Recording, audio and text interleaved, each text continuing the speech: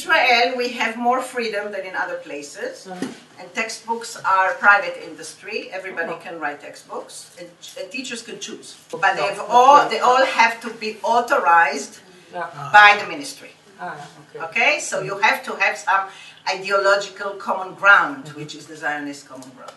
Okay, and you have to have some uh, assumptions, convictions that are not discussed, that are given. For example, Jewish historical rights on the land.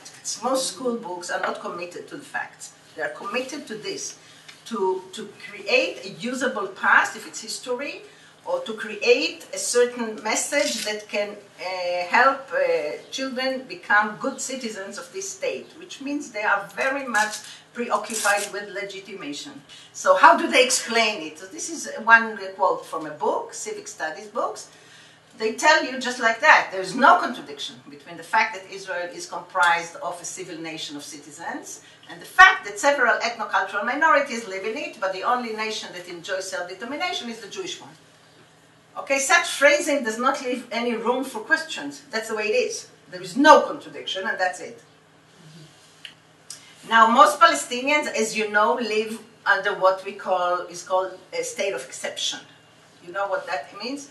It means uh, after wars, when you when you conquer a place, the people don't belong to you, so they are not subject to your law. So they live outside the law by law, and uh, they are discriminated by law, law of land leasing, law of citizenship, all kinds of laws, and uh, all functions in the occupied Palestinian territory are transferred to the army because in the Palestinian territories only the army uh, controls and the army, the military law is, uh, is uh, dominating.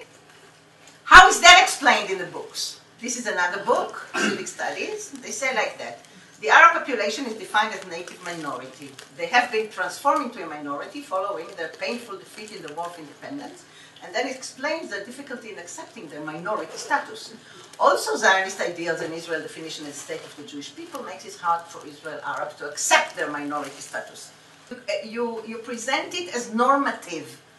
The discrimination and the total lack of social and human rights presented either as their destiny, their lot, their fault, or a necessity for Israel's security. In all the books that we have, and we have hundreds, you don't find one photograph of a Palestinian, of an Arab person. Okay? The idea is that really they don't exist except as a problem to be eliminated. And this is what the soldiers understand. That's why they kill them like that in the streets, you know, they don't care. Because this is what I have to do. Eliminate they think they are doing the right thing. eliminate Yeah. uh, the problem. This- So racism is uh, the most, I would say, prominent uh, characteristic of Israeli discourse. For example, uh, when we want to say sloppy work, we say Arab work. Okay? But everybody wants to live in an Arab house because they are the most beautiful. So how does it go together? Arab smell. Arab smell is the worst. Arab taste is the worst, but everybody likes Arab food. Okay, so it's, uh, you know, that's the way of racism. And the last thing I want to speak about is the, uh, how they uh, teach them to legitimate massacres. They tell you a story that justifies the killing, like Oedipus killed his father, but he saved the city. Okay? So, of course, the killing is bad. They never said the killing is good.